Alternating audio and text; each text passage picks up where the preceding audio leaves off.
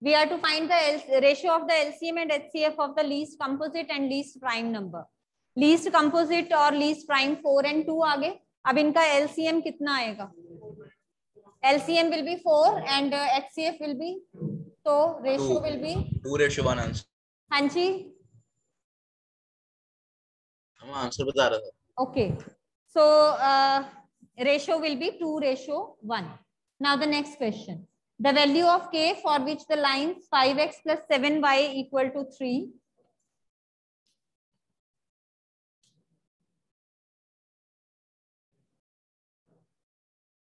ये के ये कोई बात five x plus seven y equal to three and fifteen x plus twenty one y is equal to k.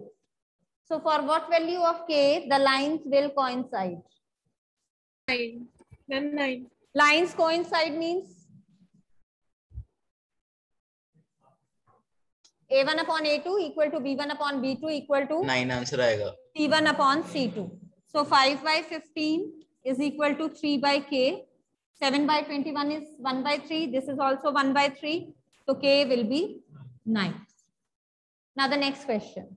A girl walks 200 meters towards east and then 150 meter towards north. The distance of the girl from the starting point is.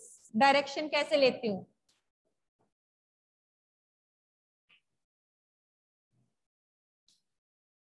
अब east किधर है waste किधर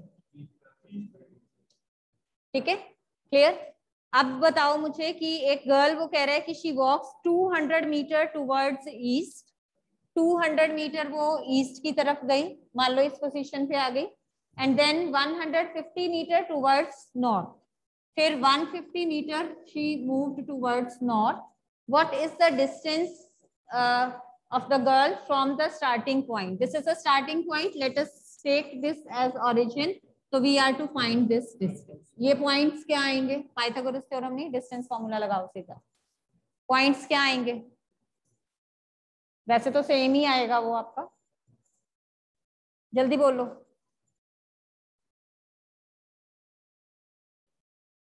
X coordinate of this point will be चलो आप उससे Pythagoras से बता दो मुझे।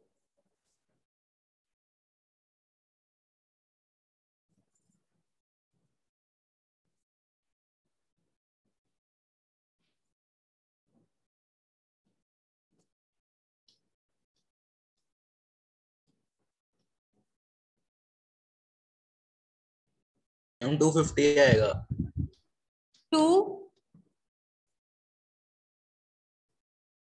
टू फिफ्टी में two fifty so the this हाँ जी, क्या हो गया? Two fifty will be your answer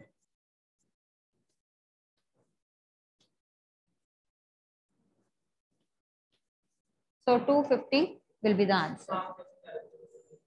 ये पॉइंट आ गया 200 150 डिस्टेंस फॉर्मूला ये ज़ीरो ज़ीरो है तो 200 minus zero whole square plus 150 minus zero जैसे मर्ज़ी कर लो दोनों now the next the lengths of the diagonals of a rhombus are 24 centimeter and 32 centimeter then the length of the altitude of the rhombus is length of the diagonals हमें given है 24 and uh, 32 length of the altitude of rhombus हमें निकालनी है। क्या करेंगे? Length of the diagonals of a rhombus is 24 and 32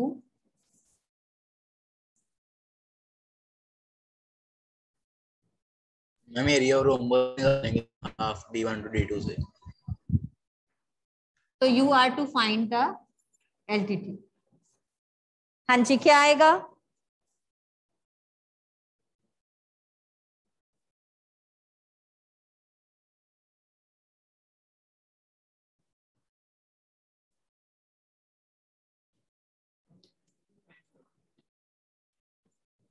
Yes you have to find the altitude हाँ जी, Mehul?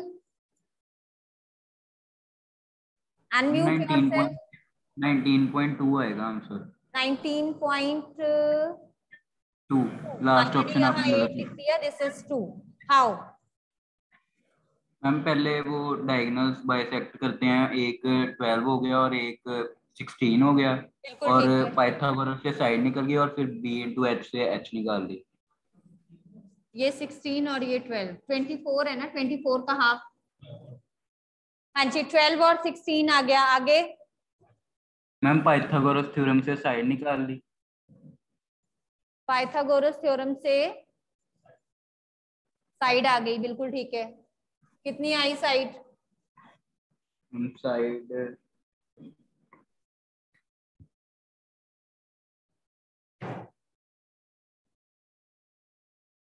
Twenty? Twenty centimetre. Twenty ma'am. Twenty आएगी। ये ट्वेंटी आ फिर गई बी 16 का square B plus into 12 H का हो जाएगा। हाँ जी आगे। मैम बी इंटू एच से हो जाएगा। Half into B into H yes ma'am पहले एरिया निकालो ना half into diagonal one into half into पहले एरिया निकालना पड़ेगा D one two D two half into D one into D two D one है डी 84 टू है B है तो you can find out H हो जाएगा अभी? Now the next three eighty four आएगा। बिल्कुल ठीक है। Now next question number five है two fair coins are tossed what is ma'am समझ नहीं आया बता दो बच्चे। इसमें हमने क्या किया देखो आपको पता है जो डायगोनल्स ऑफ़ अ रोम्बस हैं दे बाइसेक्ट ईच अदर तो ये पूरी लेंथ अगर मुझे 24 गिवन है तो दिस पार्ट इज़ 12 ये हमारे पास आ गया 12 और सेम वे में ये पूरा 32 था तो ये हमारे पास आ गया 16 32 का हाफ़ 16 अब डायगोनल्स जो हैं they are perpendicular bisectors they intersect at right angle तो ये वाला ट्राइंगल आपका जो है this is a right triangle Pythagoras theorem लगा के 90 के साथ बेस और परपेंडिकुलर हमें गिवन है। हाइपो हमने निकाल लिया 20 यूजिंग द पाइथागोरस थ्योरम 16 का स्क्वायर प्लस 12 का स्क्वायर अंडर द रूट यहाँ से हमारे पास साइड आ गई इसकी 20 ये 20 आ गई। अब एरिया ऑफ़ रोम्बस आपको पता है हमने ये chapter करना ही है अभी। Into D one into D two हाँ जी। और दूसरी तरफ़ अगर हम इसको एज अ पैरेललोग्राम ट्रीट करें तो this will be half into base नहीं आप इसको क्या लेके चल रहे हो? Half into base into height क्यों लगाया हमने? बट है क्या ये?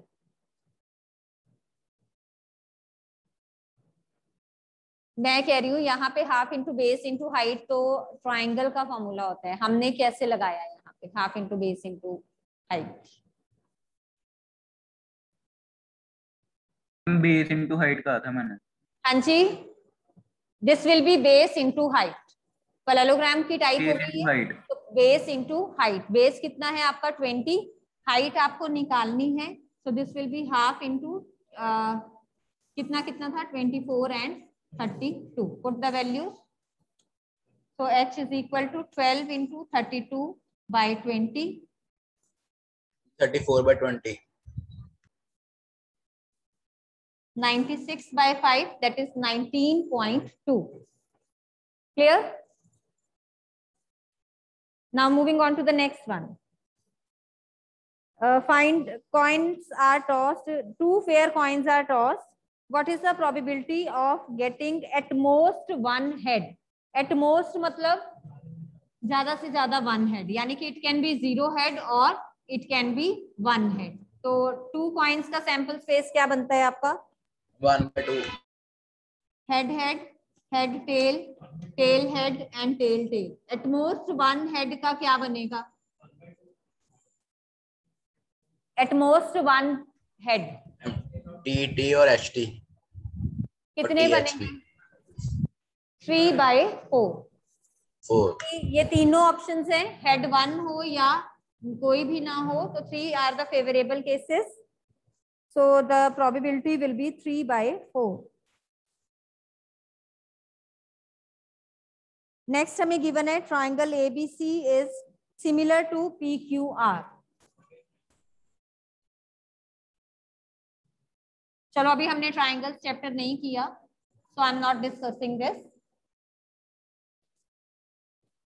next question है if two sine square beta minus cos square beta is equal to two then find the value of beta ऐसे क्वेश्चन भी किए हुए हैं। Two sine square beta minus cos square beta is equal to two तो find the value of beta cos square को convert कर ले, किसमें?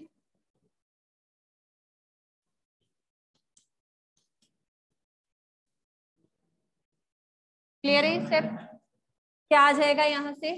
Three sine square beta minus one is equal to two three sine square beta is equal to three sine square beta is equal to one तो sine beta is one beta कितना आ जाएगा? Sin की value one कहाँ पे होती है? 90 degree पे। So the option B will be your answer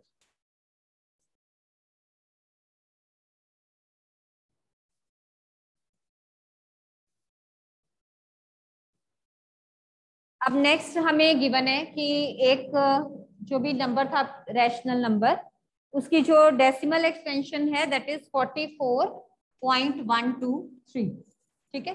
question है आपका prime factors of the denominator of a rational number with the decimal expansion 44 and 44.123 are 23 235 25 and 35 2 comma 5 2 comma 5 what kind of decimal expansion is this? Terminating है तो terminating में क्या condition की हुई है? Theorem की हुई है कि अगर उसके जो प्राइम फैक्टराइजेशन है डिनोमिनेटर की if that is of the form 2 raise to power m and 5 raise to power n then the decimal expansion is terminating तो 2 raise to power m 5 raise to power n, m और n की जो values मर्ज़ी हो जाएँ, जो factors होंगे that will B 2 and 5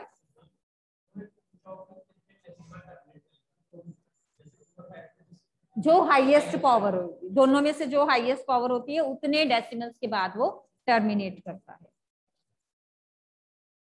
Now the next question the lines x is equal to a and y is equal to b are intersecting overlapping are parallel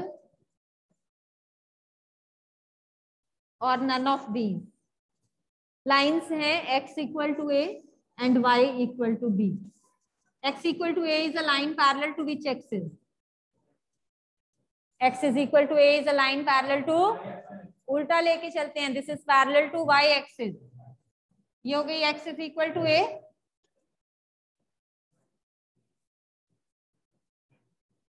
अब मैंने ले ली y equal to B so the lines will be intersecting perpendicular intersecting parallel और overlapping intersecting क्योंकि lines है तो जब आप इनको एक्सटेंड करोगे तो अगर एक लाइन आपकी एक्स एक्सिस के पैरेलल है दूसरी वाई के पैरेलल है तो कहीं ना कहीं वो इंटरसेक्ट ज़रूर करे तो they will be meeting at one point तो they lines will be intersecting now the next one the distance of the point minus five comma six from the origin minus five comma six का origin से distance आपको मैंने बताया हुआ है कि जब भी हमें डिस्टेंस निकालना है, हमने क्या करना है? सिंपली दोनों के स्क्वायर्स का सम अंडर द रूट तो this will be root sixty one distance जब भी ओरिजिन से निकाल रहे हो, जो भी दो नंबर्स गिवन है, उनके स्क्वायर्स का सम अंडर द रूट क्योंकि जब आप ज़ीरो माइनस करोगे तो वो वही एज इट इज़ आ जाएगा. नेक्स्ट गिवन है if A square is equal to twenty three by twenty five then a is rational irrational whole number और integer. हाँ क्या आएगा? a की वैल्यू क्या आ जाएगी? Root twenty three by twenty five so a is irrational. फिर से हो गया ब्रो हो गया ठीक क्लियर हाँ जी ब्लर आ रहा है बोर्ड नो मैम हो गया ठीक। हो गया okay okay question number 12 if L C M of X and 18 अब एक्स और 18 आपको दो नंबर गिवन है। इनका L C M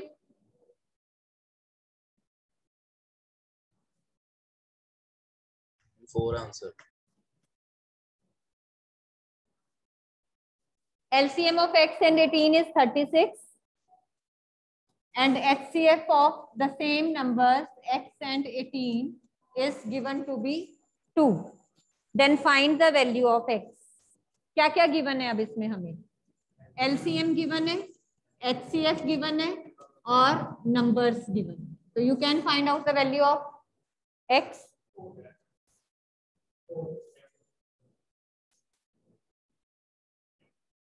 So x will be 4. Now the next one. If uh, in right triangle ABC, right angled at B, tan A is root 3. Tan A की value हमें given है root 3. So we are to find the value of cos A cos C minus sine A sine C right triangle है right angled at B tan की value given है तो आप angle A की value निकाल सकते हो। क्या आएगी? सिक्सटी आएगी मैम। सिक्सटी आ जाएगी। तो राइट एंगल्ड एट बी है ए आ गया सिक्सटी तो बी सी कितना आ जाएगा? एंगल सम प्रॉपर्टी से सी आ गया थर्टी अब क्या क्या चाहिए मुझे? Cos A cos C sine A sine C तो क्या लेके चलेंगे?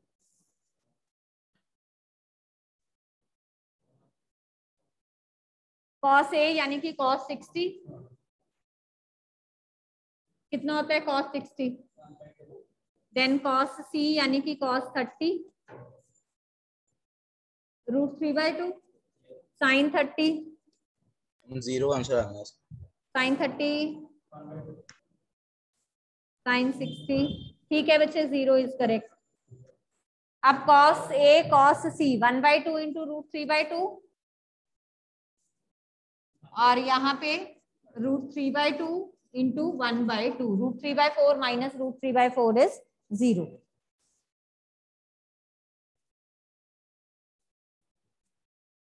Next, if the angles of a triangle ABC are in the ratio 1 ratio 1 ratio 2 respectively, the larger angle being angle C, then the value of secant A upon cosec B minus tan A upon cot B.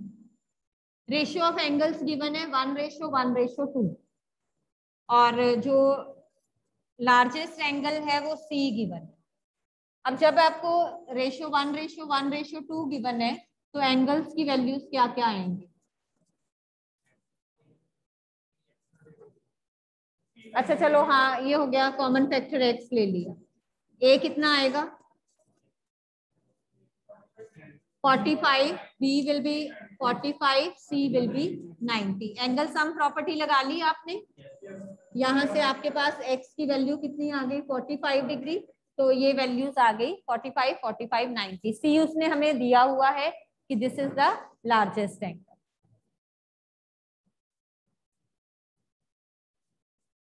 तो ये 45 है ये भी 45 है. Now we are to find the value of secant A upon cosec B minus tan A upon cot B हाँ जी। क्या करें? Secant A 45 degree secant 45 is root two cosec 45 same minus tan 45 cot 45 this is one minus one तो value will be zero Next question, the number of revolutions made by a circular wheel of radius 0.7 meter in rolling uh, a distance of 176 meter is. Number of revolutions हमें निकालने हैं. The number of revolutions made by a circular wheel of radius 0.7 meter in rolling a distance of 176 meter. हमें radius given है 0.7 और distance given है जो उसने travel किया that is 176 metre and we are to find the number of revolution बिल्कुल ठीक है। टोटल डिस्टेंस उसने कवर किया 176 मीटर हम देख लेंगे कि वन राउंड में वो कितना डिस्टेंस ट्रेवल कर रहा है। वन राउंड में जो डिस्टेंस ट्रेवल करेगा वो that will be equal to its circumference two pi R R कितना गिवन है हमें? ज़ीरो पॉइंट सेवन तो कितना आ जाएगा ये?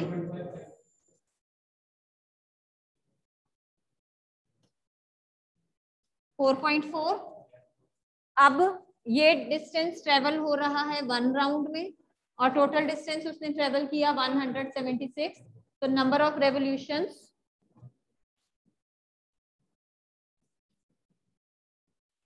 total distance divided by distance in one round that will be कितना आएगा?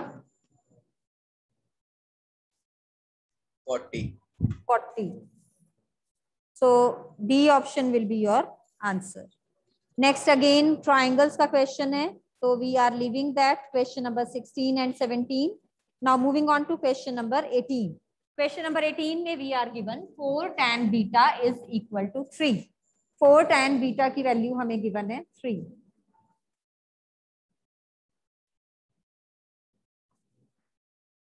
हाँ जी, four tan beta is equal to three.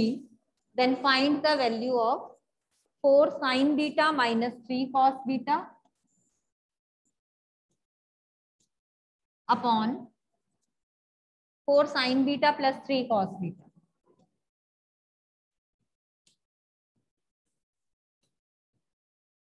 Tan beta three by four आ गया।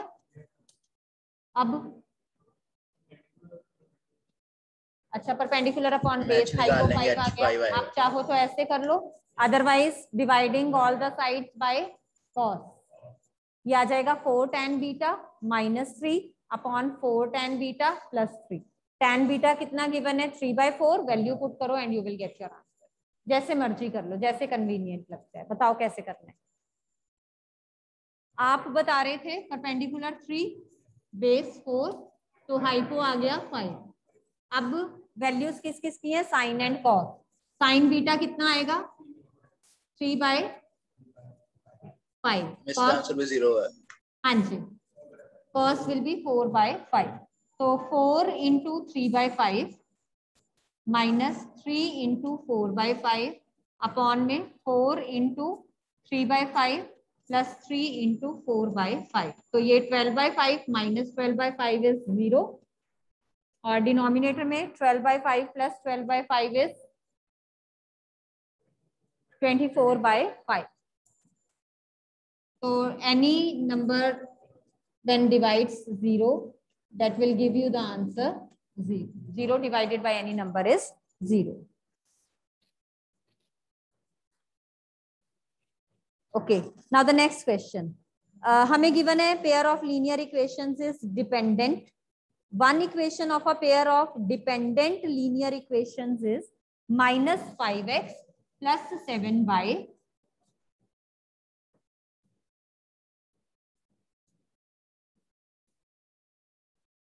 is equal to 2. We are to find the second equation.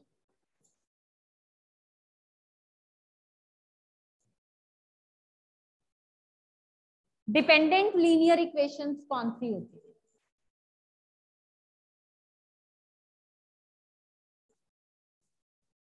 Ma'am, हमने तो उससे सीखा unique solution या intersecting कुछ और। डिपेंडेंट तो पता ही नहीं है। चलो मैं बता रही हूँ। डिपेंडेंट आपकी लीनियर इक्वेशंस होती हैं। इंसिडेंट लाइंस पे। कोइंसिडेंट ठीक है? हमें कोइंसिडेंट में क्या कंडीशन होती है? A one upon A two equal to B one upon B two equal to C one upon C two if you take it to some constant equal to some constant के तो जब एक की value change हो रही है, एक के कॉफिशियंट अगर आपके चेंज हो रहे हैं या एक की हम एक्स और वाई की वैल्यू निकाल रहे हैं तो that is the same for the other also दूसरे के लिए भी वो वैल्यूज़ अकॉर्डिंगली ही आपकी चेंज हो जाती है। अब minus five x plus seven y equal to two जब हम लेके चल रहे हैं तो ये कंडीशन आपकी सेटिस्फाई होनी चाहिए। तो जो आपकी को इंसिडेंट लाइन्स होती हैं they are also called the dependent linear equation lines overlapping होती हैं सॉल्यूशन इनफाइनाइट होते हैं, क्योंकि सॉल्यूशन एग्जिस्ट कर रहा है तो कंसिस्टेंट सिस्टम ऑफ़ इक्वेशंस बनता है। दूसरा, इसी में आता है आपका इंडिपेंडेंट इंडिपेंडेंट लीनियर इक्वेशंस होती हैं the lines which are intersect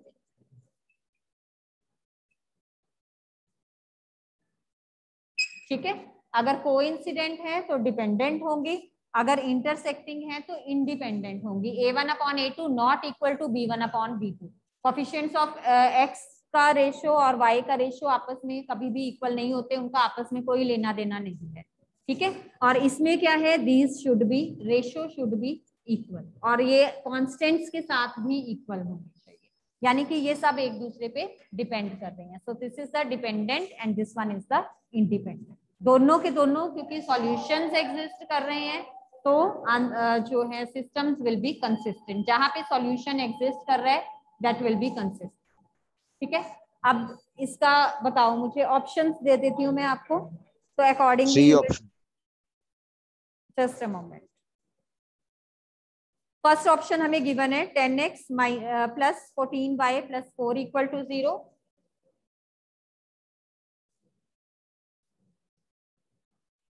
ten x plus fourteen y plus four equal to zero option B है minus ten x minus fourteen y plus four equal to zero C option is minus ten x plus fourteen y plus four equal to zero and D option is ten x minus fourteen y is equal to minus four या plus four equal to zero अब check करो किसके लिए A one upon A two equal to B one upon B two equal to C one upon C two आ रहा है। Ma'am D D D D just a moment wait wait wait हाँ जी? Equal to minus four है। तो मैंने उसको plus four लिख दिया। अब चेक करो कहाँ पे मैम डी आना है। डी